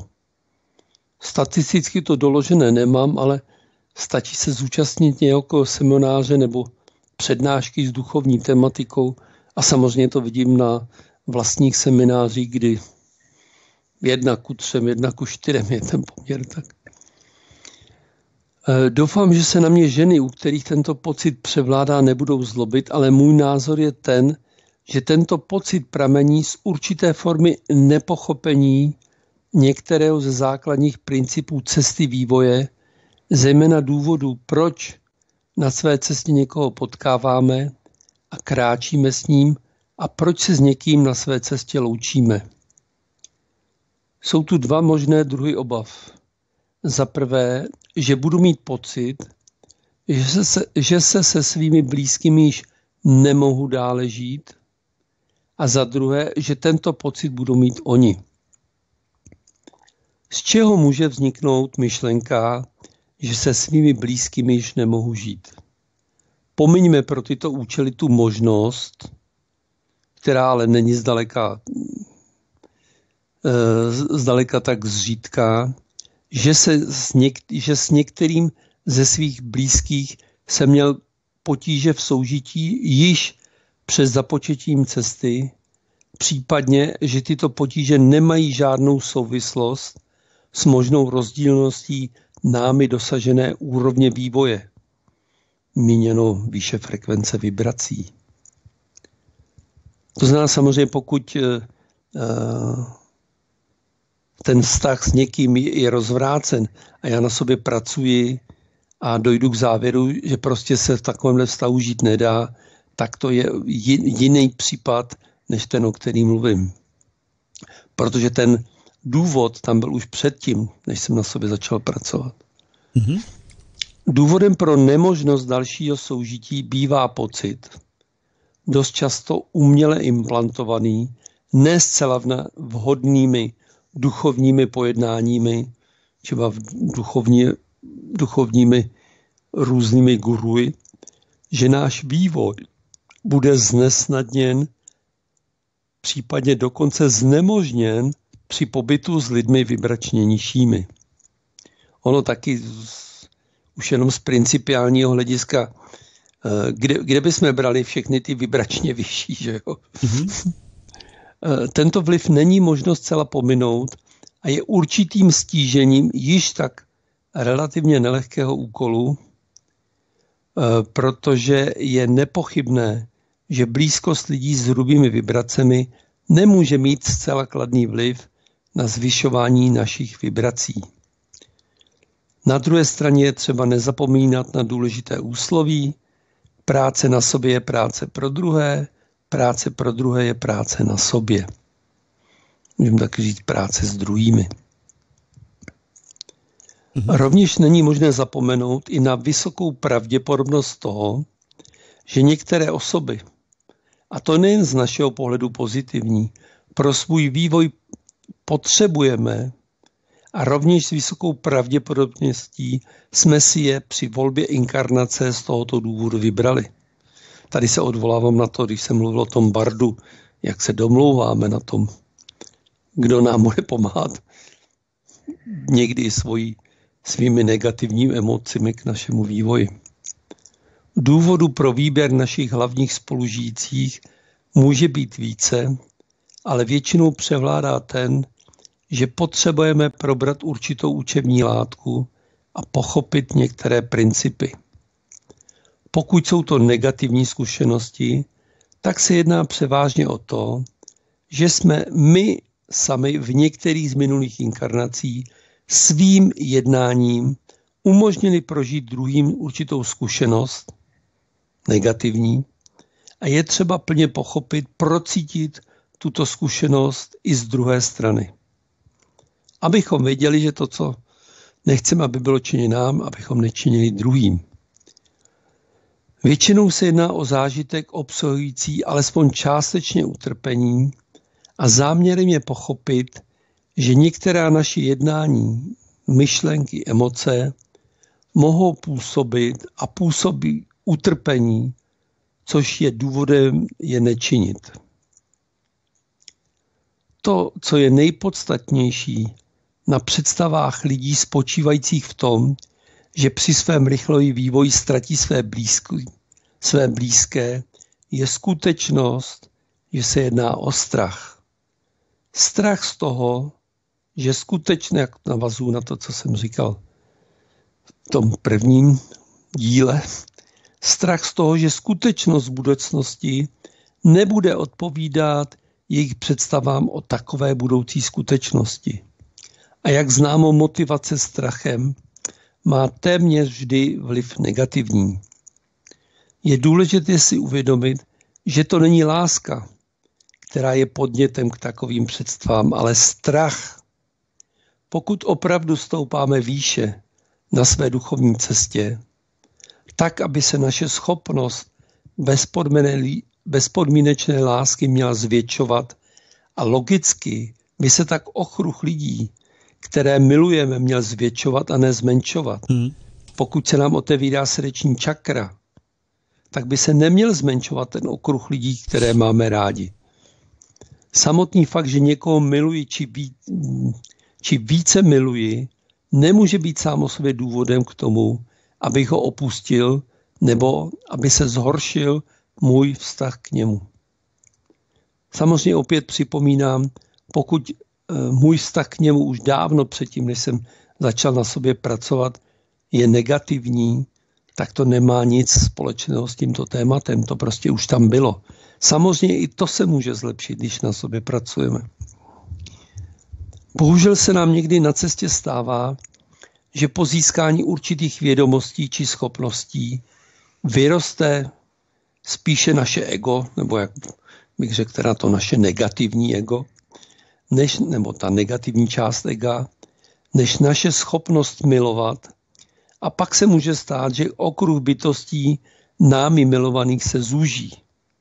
Protože naopak eh, se ta naše schopnost milovat zúží, zhorší. Z čeho může vzniknout ta druhá myšlenka, že blízcí by mohli mít pocit, že ji s námi nemohou žít. Důvodu může být více, ale základní jsou pravděpodobně dva. Prvním je ten, že náš způsob života se natolik změní, že nebude nadále slučitelný s jejich způsobem života. Druhým je ten, že my se změníme natolik, že se jim odcizíme. V obou případech se jedná o nepochopení toho, že člověk, který je duchovně vysoko a na, cest, na své cestě hodně pokročilý, může být i takzvaně osvícený, ovšem otázkou je, co to je osvícení, se může chovat v běžném životě naprosto normálně a může se jednat o člověka, u kterého, by, u kterého si bez jeho bližších znalostí nemusíme vůbec ničeho všimnout. snad kromě jisté vytříbenosti ducha, jak to formoval Paul Branton. To jsou právě ty jako deformace a já se obávám zase, že patří mezi ty cílený, cílené dezinformace, kdy prostě představa osvíceného člověka je ten, že má na sobě oranžový nebo bílý prostě radlo a nedělá nic jiného, než medituje. Jo. Skutečně osvícení lidé a se jim říká, ty jogíni chodí normálně do práce, pohybují se mezi normálními lidmi. Doporučuji na tohle eh, na mých stránkách povídku o svícení, kterou jsem tady, myslím, musel už třikrát hmm. čet, že? No dobrá, to je dobrá. Nejedná se o lidi, kteří se vznášejí kdesi mimo čas a prostor a meditují dny a noci a mluví jen o Bohu. To je naprosté nepochopení. To jsou lidé, kteří jsou účastní normálního života. Skutečné osvícence či jogíny nepoznáte bez blížšího seznámení a jejich prozrazení se, protože žijí z pohledu ostatních celá normální život. Ten normální vnější život. Vnitřním životem se samozřejmě odlišují, mají otevřenou srdeční čakru i ostatní čakry. Velmi zkreslená, ale mám obavu, že i rozšířená je představa, že lidé po svém osvícení, a ponechme nyní stranou jeho definici, si obléknou to oranžové prosedadlo, oblek, posadí se do svého květu a tak to stráví zbytek života. Někdo jim nosí jídlo ještě, hrstku, tu mističku rejže denně. Ano. Jisté pocity odcízení by mohly být určitým problémem, zejména v souvislosti s odlišnou náboženskou orientací. Počítaje v to i ten materialismus, co by náboženství, protože to není nic jiného.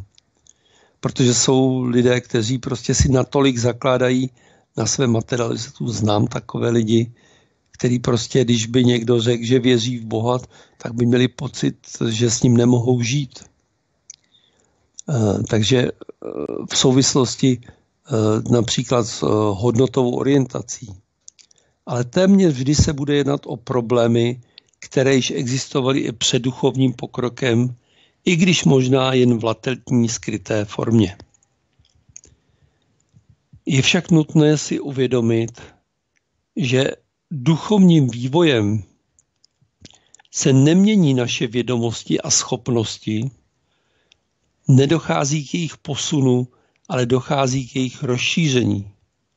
To znamená, že vše, co jsme znali dříve, včetně naší schopnosti, empatie, do někoho se vcítit, se nezměnilo, ale pouze rozšířilo. Zvýšením empatie a případné lásky bychom měli být schopni přistupovat blízkým tak, aby oni nepocitovali v našem chování k ním změnu k horšímu. Není teda důvod proč, eh, není teda důvod proto, aby se naše chování k blízkým změnilo tak, aby došlo k odcizení. Aby tyto lidé měli pocit, že, že už s námi nemohou žít, protože my jsme někde, kde, kde prostě s náma um, nejsou schopni žít v nějakém harmonickém vztahu kvůli tému rozdílnosti, uh, ať už teda poznání nebo frekvence vibrací. Hmm. Rád bych upozornil ještě na jednu skutečnost při soužití s blízkými. Vše ve vesmíru a i teoverzu, protože teoverzum je širší pojem, obsahuje více mnoho vesmírů, se vzájemně ovlivňuje. Vše je vzájemnou reakcí nekonečného množství vibrací. Zrovna tak se navzájem ovlivňujeme zbytostmi, které se pohybují v naší blízkosti, tedy naše vibrace, se dostávají do reakce s vibracemi jiných bytostí. Při tomto vzájemném působení je zcela běžné, že frekvence vibrací jedné bytosti je vyšší než bytosti druhé a dochází k jejich vzájemnému působení. Při tomto vzájemném ovlivňování je kromě výše frekvence vibrací důležitým faktorem ještě intenzita těchto vibrací. Dal by se to nazvat jako množství vitální energie.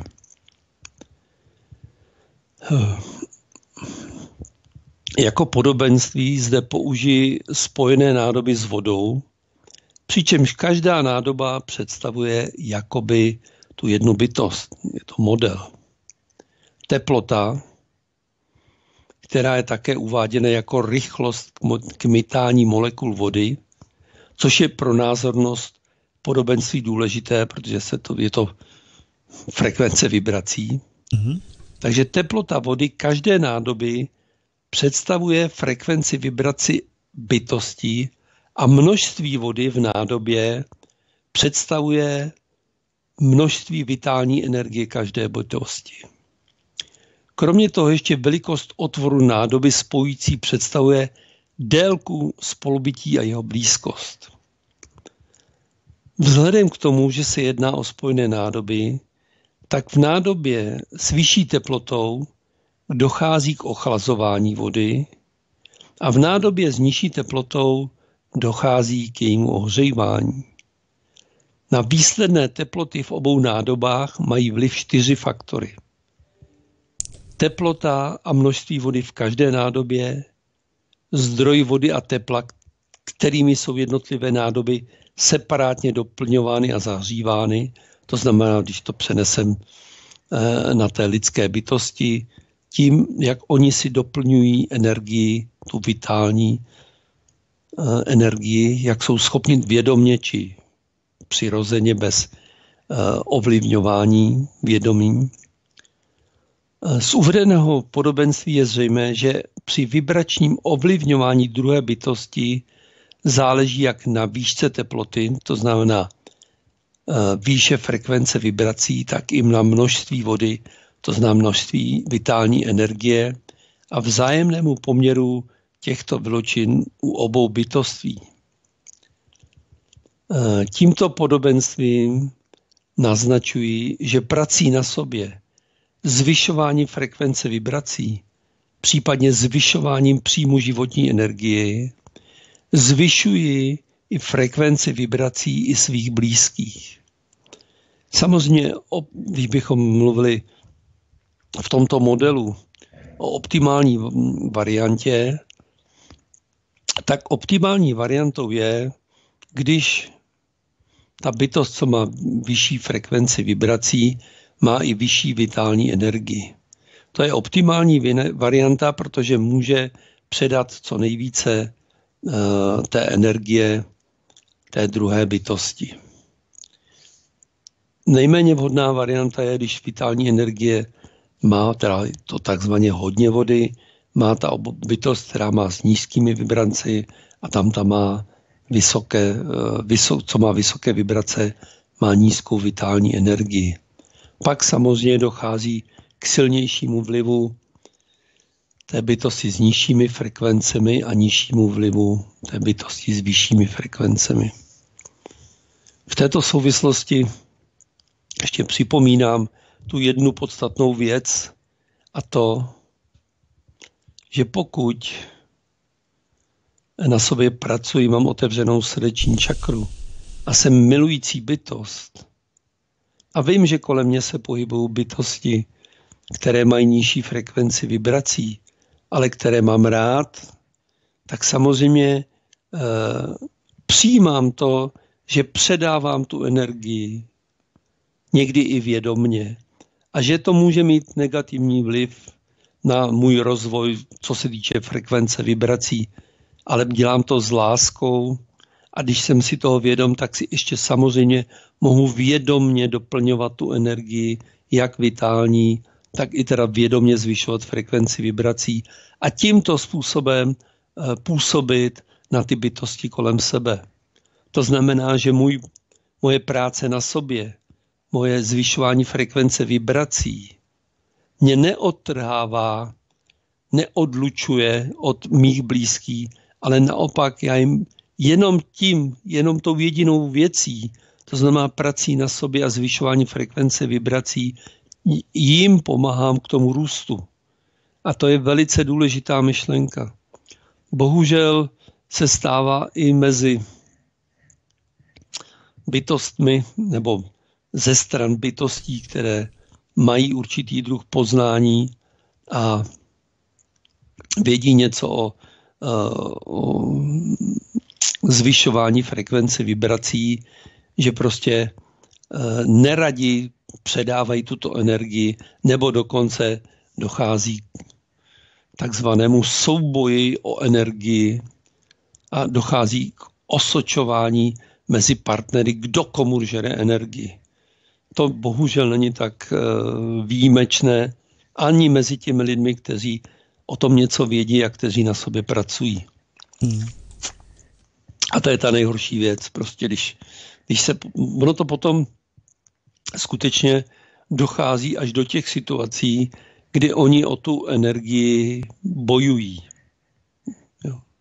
To je, hm, když teď lehce odbočil, ale to není odbočka, když uh, ty partneři se hádají, uh, už jsem o tom také mnohokrát mluvil, v mnoha případech, jestli ne ve velké většině, už nejde o, když se hádají, ne když diskutují a snaží se dobrat k nějakému konkrétnímu cíli, ale když ten konflikt přeroste v hádku, už to většinou není o ničem jiném než boj o energii. Hmm. Kdy potom ty argumenty nesmězují eh, k tomu, a teďka se omlouvám všem ženám, ale dost často eh, v tomhle je to taková specifika žen, že už ten argument nesměřuje k tomu, abych, abychom rozvinuli tu diskuny, posunuli se. A byly to věcné argumenty, ale je to argument, který má toho druhého zranit a vydolovat z něj energii. Ano. A to se děje bohužel velmi často. No a co potom se, jako v mnoha případech už ta hádka nebo ten konflikt nespočívá v ničem jiným, i když vznikl původně z racionálního problému, kdy je potřeba něco vyřešit, už uh, končí tím jenom a jenom napadáním, které vlastně nemá za cíl nic jiného, než vydolat z toho druhého tu energii. Hmm. To jsou takové ty klasické, a tvoje babička, a tvůj tatínek, a, a ty si tenkrát, a to, jo, kdy to, a ty děláš tohle, a já, když prostě věcně oponuješ, neměla bys dělat tohle a ty děláš taky tohle. Jo? Takže pak už to prostě je opravdu, a to už jsou potom používají ty opravdu někdy i podpásové, eh, podpásové údery, kde vlastně už to nemá s, s nějakým argumentačním řešením toho problému vůbec nic společného. Ano. Jako na to bych chtěl dost upozornit, protože ale vím, že se mm, jako hezky se o tom mluví, ale dodržet to potom jako není, není to, jednoduché. Není to jednoduché, ano, přesně. Ne, když je člověk potom neustále napadá, že jo, argumenty, které nemají e, s řešením problému nic společného, no tak se začne bránit, no hmm, je to těžké. To fakt nejde, no.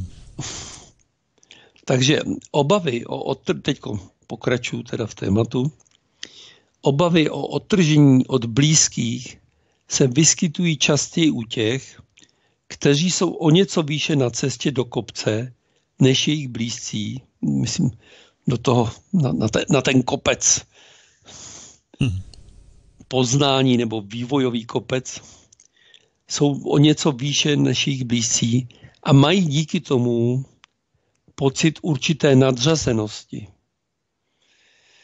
jako hm, nenašel jsem vhodnější, mírnější výraz, tak snad to bude pochopeno bez negativních emocí a rozhodně to není míněno tak, že všichni, kteří jdou výše nebo jsou výše, mají pocit nadřazenosti. Čím už ten člověk vystoupá výše na ten kopec a jde to těmi třemi cesty a jde to cestou poznání a lásky, tím uh, se ten pocit nadřazenosti vytrácí. naopak vytrácí. Jo. Opět doporučuji uh, povídku o svícení, když člověk dojde až tam nahoru. tak tam už potom to vidí trošku jinak. Hmm. Ti, kteří dosáhli té takzvané náhorní planiny, a, a teď je potřeba si uvědomit, že teda ono, ta, ono to stoupání je vždycky chvilku se jde rovně, pak zase do kopečka, pak zase rovně.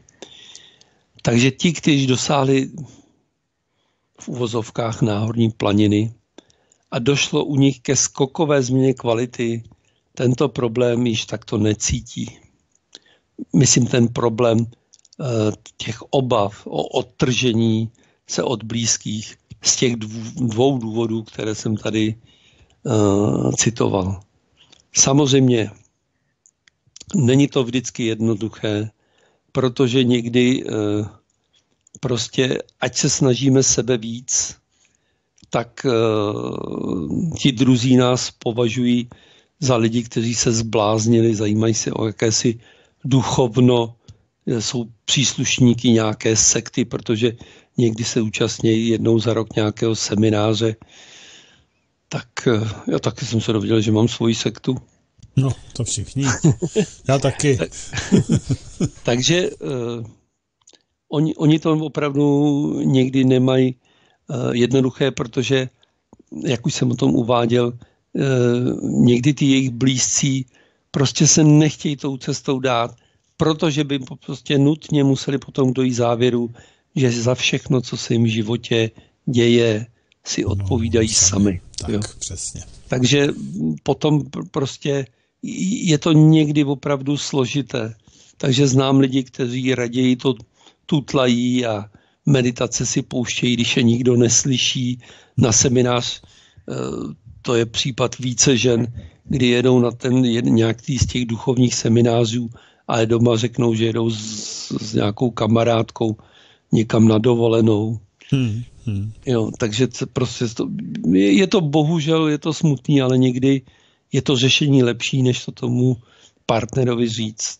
A zase opět uh, uh, těch případů, kdy takto musí postupovat ženy, je výrazně víc než mužů, ale také znám ty případy, kdy muži s tím mají problém. Samozřejmě, já si myslím, že v tom není rozdíl. V tom není rozdíl. Nepočetně určitě ano. Hmm. Jo, myslíš, že jo? Hmm. Hmm. Nemyslím. To mám statisticky, bych řekl. ano. Takže omylem je myslet si, že cesta nás odvede od rodiny. Jedná se spíše o to, že částečně nezvládáme své úkoly na cestě, protože naše láska si klade podmínky na ty, kteří nás na naší cestě provázejí. Pokud na naší cestě jdeme i cestou lásky, nemůžeme nikdy nic ztratit. Hmm. Můžeme pouze získat nové nebo dříve ztracené, ať už v tomto nebo v minulých životech. Hmm. Tečka. no výborně. Dvě minuty do konce. To je akorát na rozloučení, puštění mantry. ještě zavolá. Hmm, Čestmír, myslíš? Zatím ne, zatím ne, tak je to dobrý. Čestmíra už nevolej, to bychom potom přetáhli, to je špatný. Takže eh, já jsem tam dal teďko takovou tu mantru. A my se rozloučíme, Míro, no a já předám vysílání dál. Co ty na to? Takže já se rozloučím, nashledanou, dobrou noc. Já taktéž se loučím s váma. Eh, vy se můžete samozřejmě na můj pořad koukat zítra na Skumavku od 20 hodin. Jinak máte možnost mnoho a mnoho dalších pořadů na svobodném vysílači sledovat. Mějte se moc hezky, dobrou noc nebo hezký večer a poslouchejte dál Svobodný vysílač CS. Nastanou. Já jsem lásky plná, zářící vykon.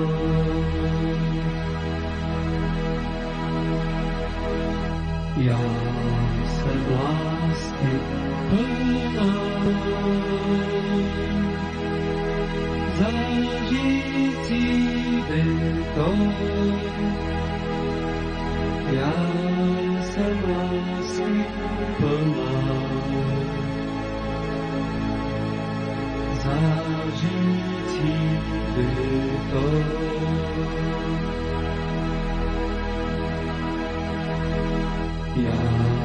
zářící